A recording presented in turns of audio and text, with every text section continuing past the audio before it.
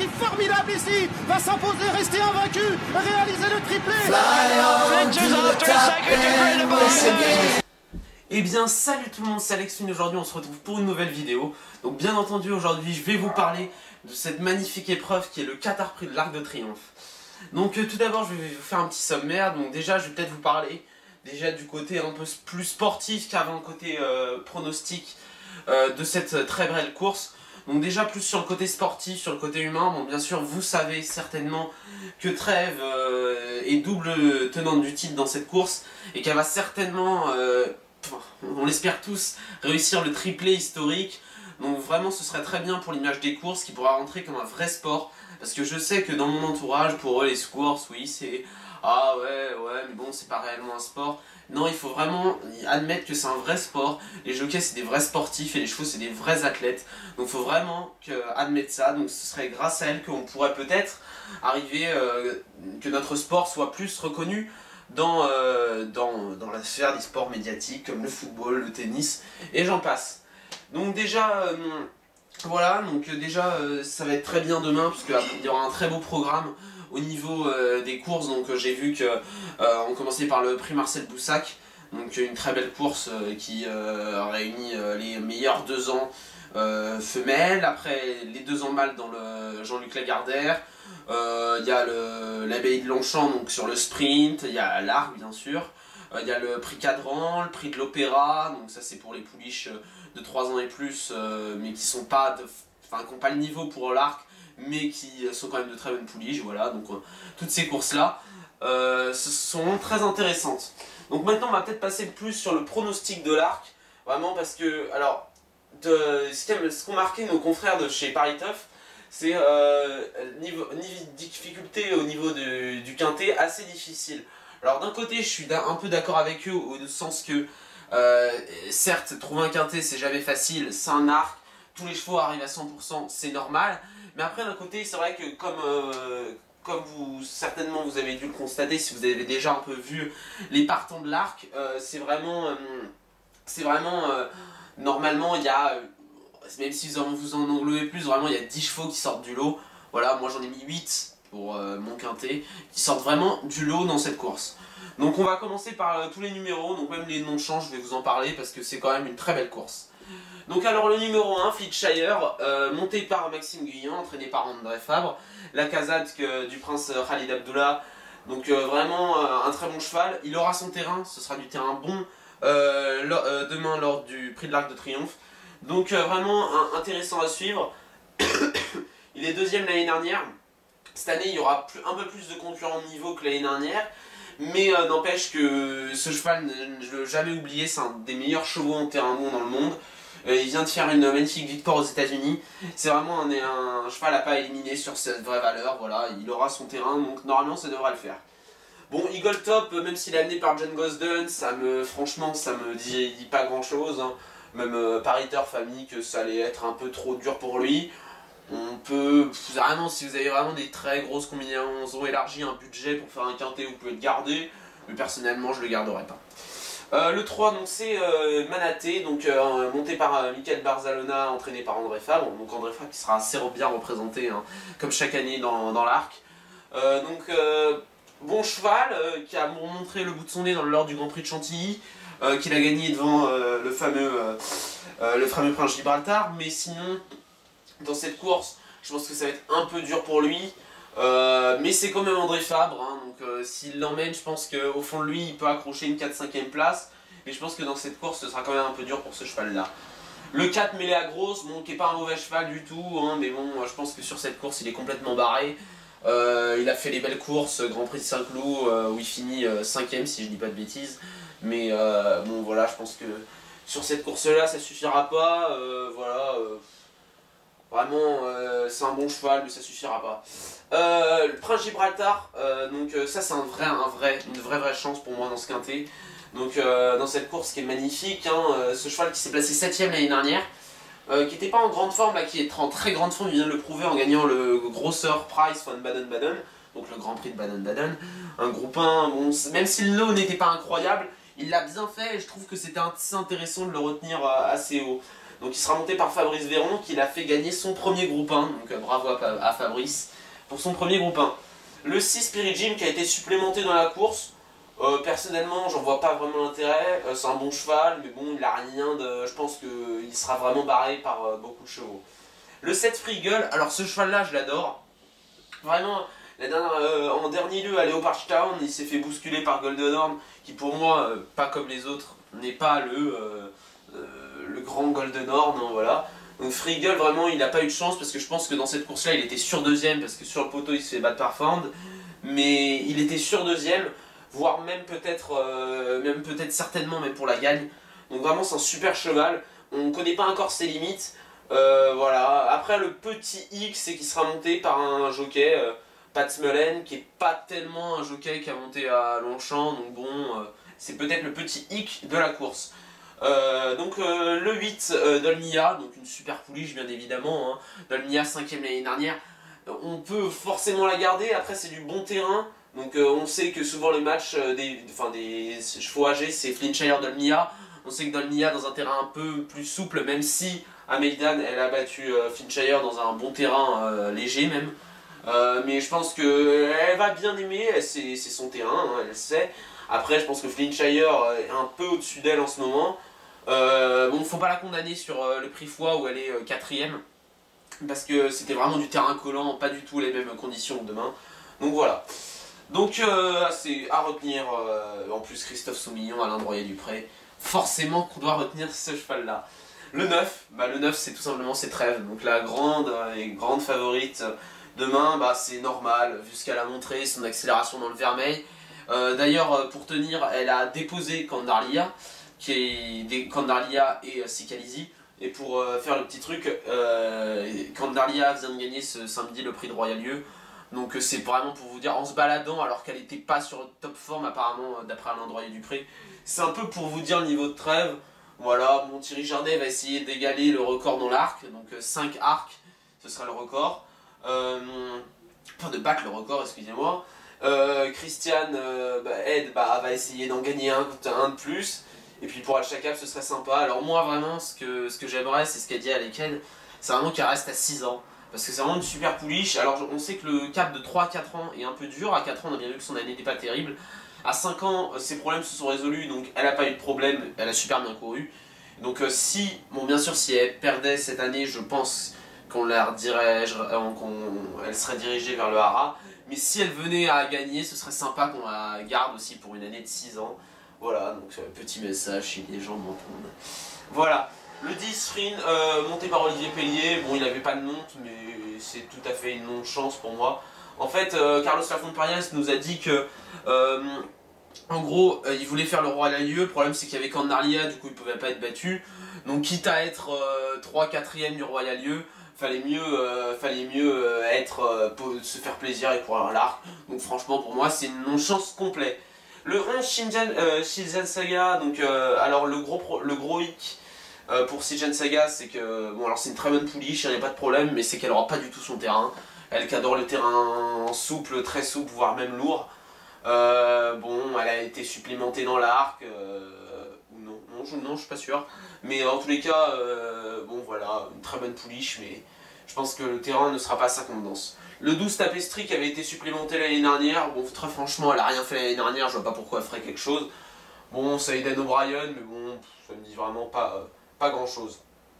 Le 13, donc là par contre ça a été un très gros concurrent pour Trèves, c'est Newbell, le gagnant le gagnant euh, du Jockey Club euh, qui a aussi répété dans le miel. Donc pareil que Trèves, hein, c'est un cheval qui va dans tous les terrains. Donc euh, dernière fois c'était souple, collant.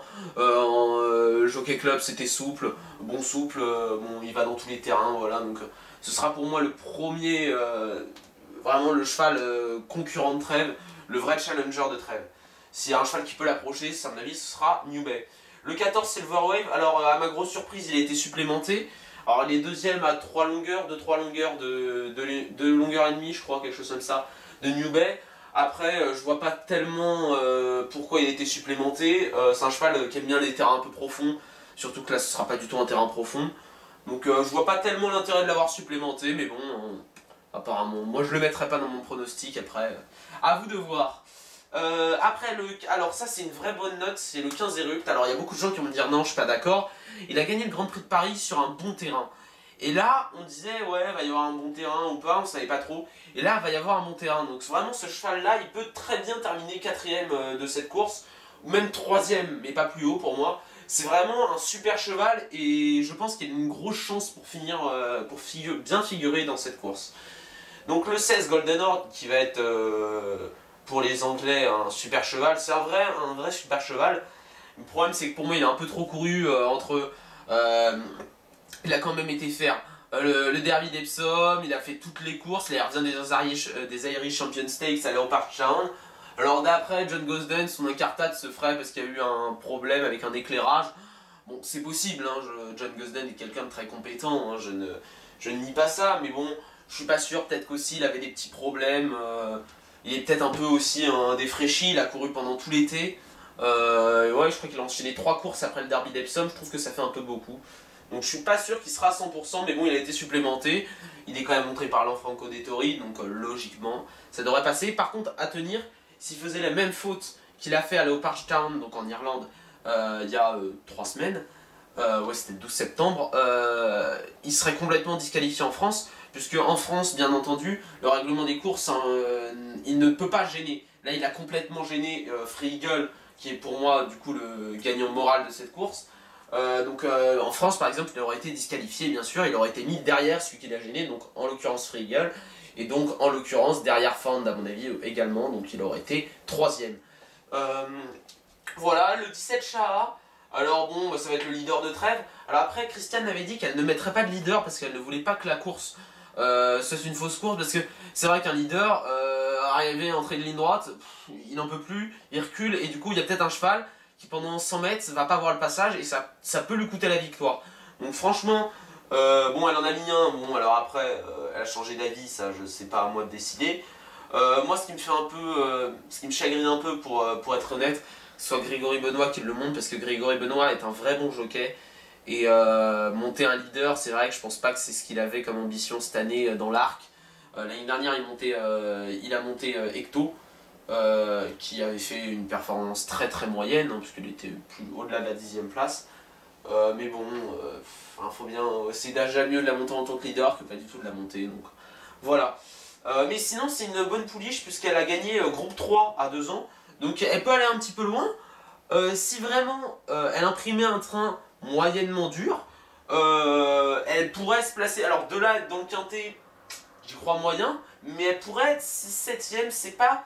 Alors c'est un leader, mais d'un côté je vois une toute petite chance, hein, je dis bien, parce que leader dans l'arc c'est quand même pour se retirer à la fin, mais s'il restait ne serait-ce qu'un soupçon de, truc, euh, de, gaz, je pense que Grégory Benoît n'hésiterait pas à la pousser, donc euh, voilà. Et enfin on finit avec le 18 Fan, donc une très bonne pouliche, mais qui pour moi n'a pas réellement le niveau. Euh, voilà, enfin bonne pouliche euh, qui a gagné euh, l'année dernière le prix Marcel Boussac qui sera la première course demain.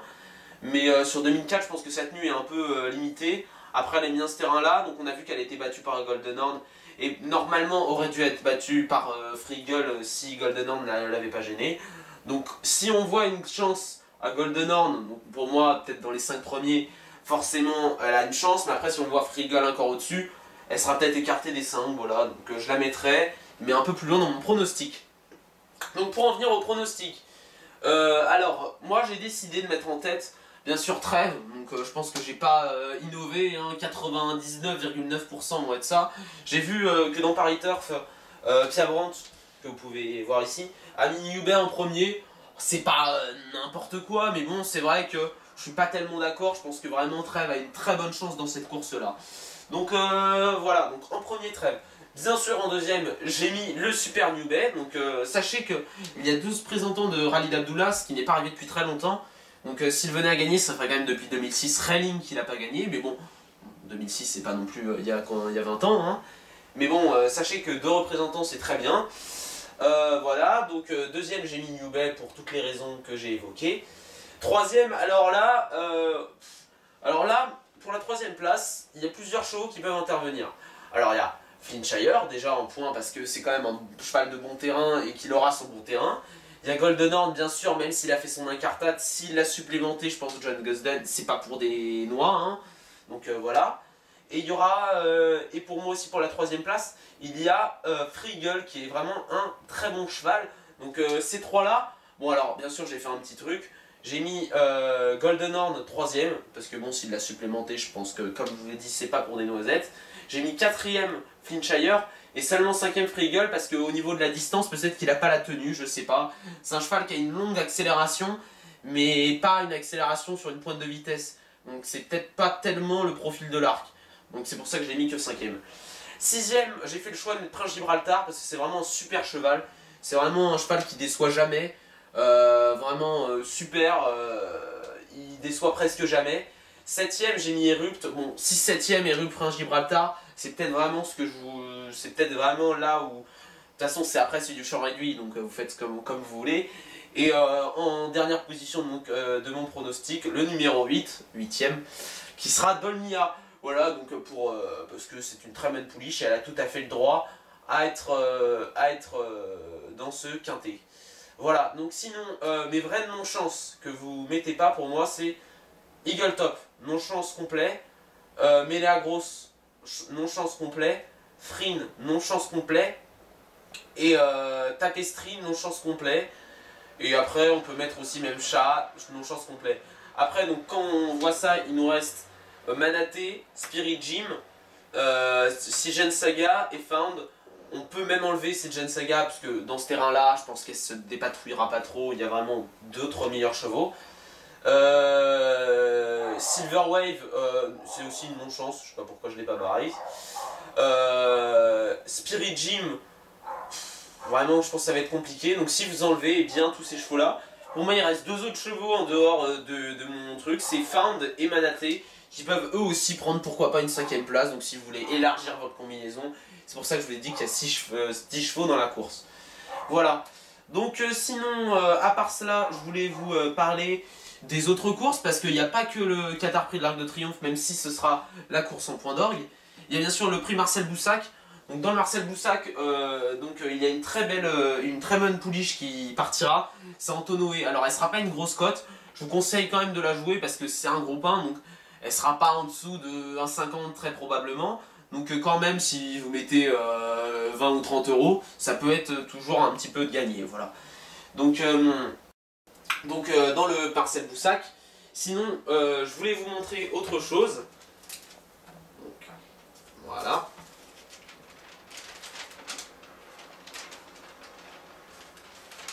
C'est alors c'est l'arc en chiffres. Alors j'ai trouvé ça assez marrant.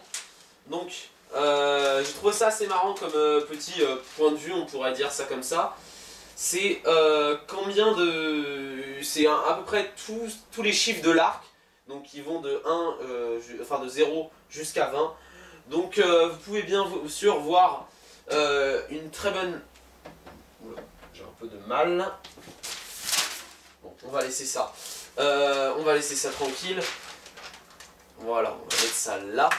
Ça, ça va probablement tenir. Voilà, parfait. Donc, euh, le 0, c'est pour... Il n'y a aucun, aucune concurrente du prix Diane cette année. Donc, c'est pour vous montrer les 3 ans, c'est pas une très bonne génération cette année. Donc, il n'y a aucune euh, euh, concurrente du prix Diane. 1, c'est euh, potentiellement le premier triplé de l'histoire dans l'arc, donc qui sera fait par Trèves. En 3, Salin Cotil va quand même avoir 3 pensionnaires. Hein, donc euh, c'est quand même assez gros, alors sachant que l'année dernière il en avait. Euh, si, il avait Spirit Gym, mais il en avait qu'un seul. Euh, au départ, ils sont seulement 6 jockeys à avoir remporté. euh, enfin, au départ, ils sont seulement 6 jockeys à avoir gagné 4 fois l'arc, dont, dont, dont Thierry Jarnet. Donc, si Thierry Jarnet ou Olivier Pellier, qui est quand même au départ, donc avec Frin, qui pour moi n'a pas de chance, mais quand même, si un des deux venait à gagner, ça ferait le record, le record de victoire dans l'arc. 5 concurrents euh, n'ont toujours euh, pas gagné en 2015, donc il y a Eagle Top, Frin, Shaha, Tapestry et Spirit Gym. Euh, il n'y a que 6 il n'y a que six chevaux de 3 ans au départ de cette épreuve. Il faut remonter à 2008 pour trouver un score si faible. Donc c'est vrai, c'est pour montrer que les 3 ans cette année, qu'ils soient français ou que soit étrangers, n'ont pas, euh, pas vraiment un super niveau. Alors après, on a deux bons 3 ans cette année. C'est vrai que c'est euh, New Bay euh, et, euh, et Golden Horn.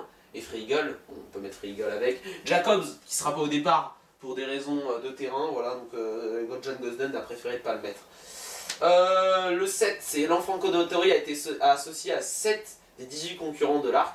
Donc c'est quand même assez drôle parce que on voit bien qu'il a déjà été associé certainement à Fand, à Golden Horn, potentiellement à Free Eagle, il a été associé bien sûr à Trèves, à Tapestry. Euh, donc ça fait quand même un, tout, euh, quand même, il y a 7 chevaux, donc pratiquement la moitié des chevaux, un tiers des chevaux, un peu plus d'un tiers des chevaux qu'il a déjà monté, donc c'est assez drôle. Donc c'est pour ça qu'il faut toujours faire attention, il est associé à Golden Horn. Du coup ça veut dire qu'il saura très bien monter son cheval par rapport aux autres chevaux. 8, euh, 9 ans après son dernier, voilà, donc ça c'est pour Railing. André, Fabre peut-être décrocher cette huitième couronne en tant qu'entraîneur, donc c'est vraiment pas rien, 8 euh, c'est énorme bien sûr, donc euh, vraiment euh, si Finchire, New Bay ou Manaté venaient à s'imposer, ce serait quand même un sacré record pour André Fabre. voilà, donc Trèves et la concurrente 9, plus de nombre de victoires, et, bon voilà, excepté Shah, Eagle Top. Ah oui effectivement, donc là ça fait assez drôle. Trèves est la, 9, Trèves est la concurrente ayant remporté le plus de nombre de victoires. Donc elle en a remporté 9. Excepté Chat et Eagle Top n'en a, euh, euh, décroché que 2. Donc c'est assez... Euh, pour vous dire un peu que ces deux chevaux-là, bon, ne sont pas des non-chances, mais sont des chevaux avec de moindres réduits. Sinon, après, il n'y a pas de choses très, très, très drôles. Euh, sinon, si 12, c'est la 12e année de suite qu'il y a des supplémentations dans l'arc, c'est tout à fait normal.